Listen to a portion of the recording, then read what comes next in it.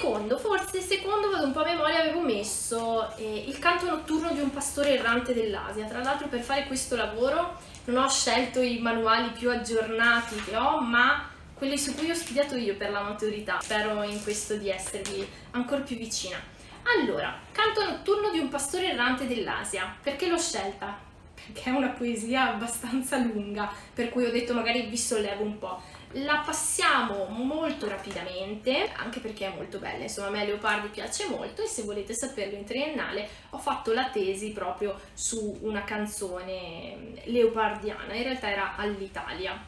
Allora, Canto notturno di un pastore errante dell'Asia, vi do il tempo di rintracciarlo tra i vostri testi, se avete però visto il mio programma magari eh, l'avevate già preparato, matita alla mano, cerchiamo di enucleare i temi fondamentali. Allora, intanto siamo tra il 1829 e il 1830, in effetti non sono andata in ordine cronologico nel fare la mia scaletta, sono andata a suggestioni.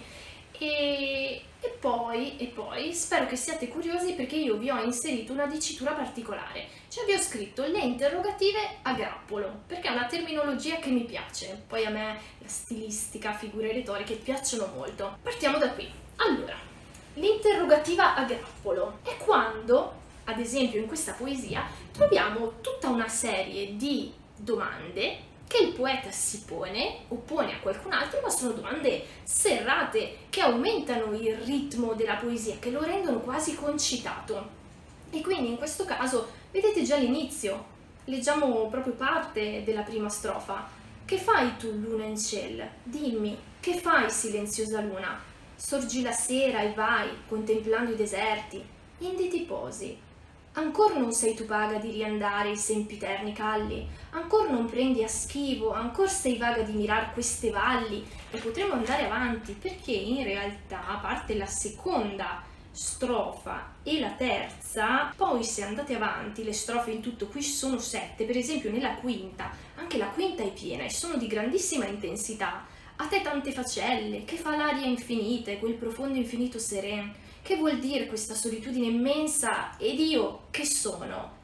Quindi mm, un crescendo di intensità che arriva fino all'ultima strofa. Vi propongo di fare questo sul canto notturno di un pastore errante dell'Asia. Proviamo insieme a spiegare che cosa succede in ogni, ehm, in ogni strofa. Sapete che quelle delle canzoni in realtà si chiamano stanze, ricordatevelo, e qui sono sette.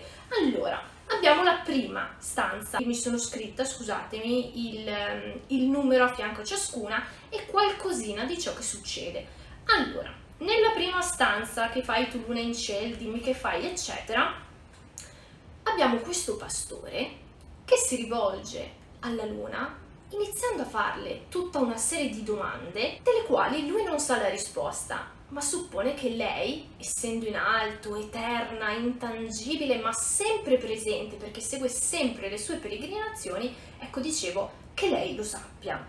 E quindi mm, il pastore fa alla luna una serie di domande e poi paragona la sua esistenza a quella della luna. Nella seconda stanza invece c'è una sorta di percorso allegorico che fa riferimento a quella che è la vita umana attraverso la figura, lo vedete, è la prima parola della seconda stanza, vecchierel bianco infermo. Quindi della seconda stanza dovete ricordarvi l'allegoria della vita umana.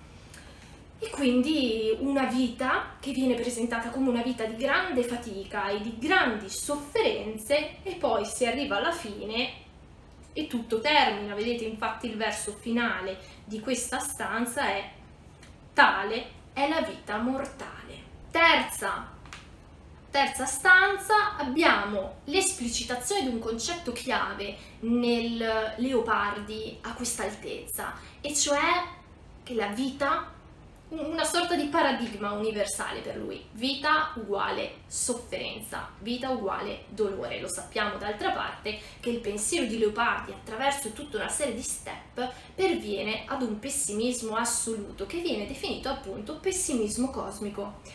E, E qui i concetti della terza strofa, della terza stanza che vi dovete ricordare sono proprio quelli legati poi all'incoerenza della vita umana. Ma perché se la vita è dolore, sofferenza, e comunque l'uomo persevera. E poi la quarta, vado un po' veloce perché vorrei soffermarmi su altre cose, ho pochi minuti. La quarta stanza, quella in cui si esplicita invece il concetto della consapevolezza della luna. La luna sa rispondere alle domande del poeta, malgrado se ne stia silenziosa, una compagna silenziosa che se ne sta in cima e, e quindi contribuisce a dare un'idea di natura molto diversa da quella, faccio un esempio, del Petrarca. La natura in Petrarca partecipava alla sofferenza del poeta il poeta era l'unico ad essere sofferente, a stare male, mentre tutti gli altri, la natura, gli animali e gli altri uomini invece nella sua ottica erano felici. Ecco qua no, con Leopardi abbiamo come dire un paradigma che vale per tutti, la vita è sofferenza per tutti.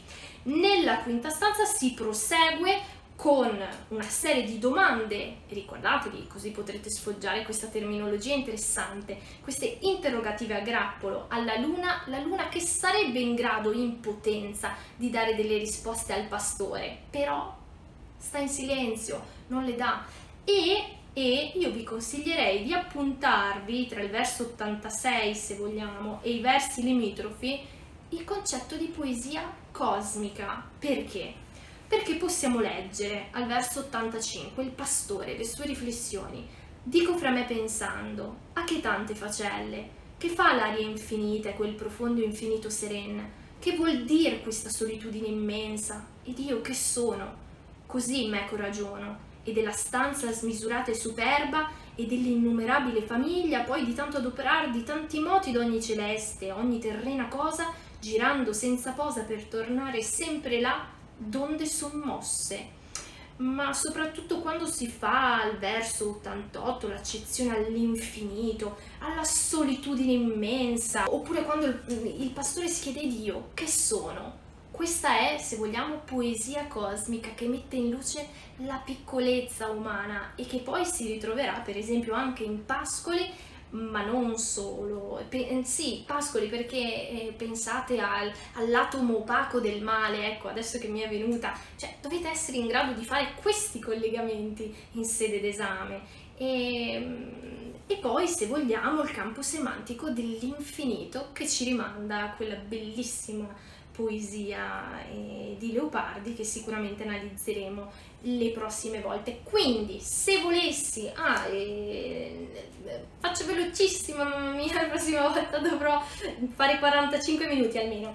Sesta stanza si parla del gregge, quindi dalla condizione della luna si passa a quella, come dire, di un'entità decisamente inferiore. Gli animali, gli animali che sembrano sereni perché? Perché non hanno consapevolezza, non si pongono domande e poi la settima invece in cui si arriva al postulato finale, la felicità per l'uomo non esiste e la vita è esclusivamente sventura, tanto che eh, la canzone termina con è funesto a chi nasce il di Natale, ancora una volta una dimostrazione del pessimismo cosmico.